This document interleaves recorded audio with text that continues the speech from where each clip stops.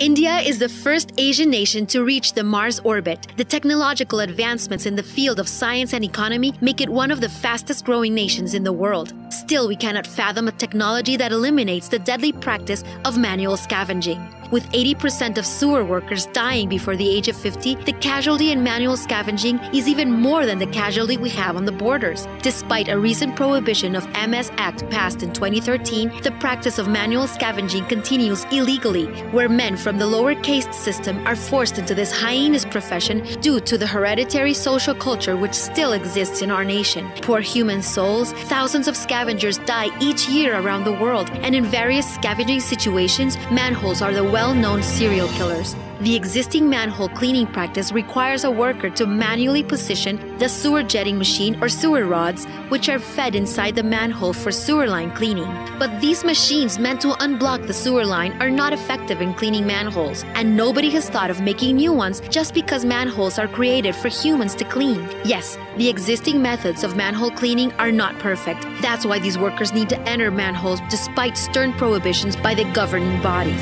They are forced to completely submerge into the manhole filled with toxic gases and infected liquid waste to remove these solid wastes to open blockage. It's no surprise that hundreds of scavengers are dying each day after being affected by various kinds of diseases like amnesia and nausea. Why can't we create a machine that will do all these jobs just like a human or better than a human?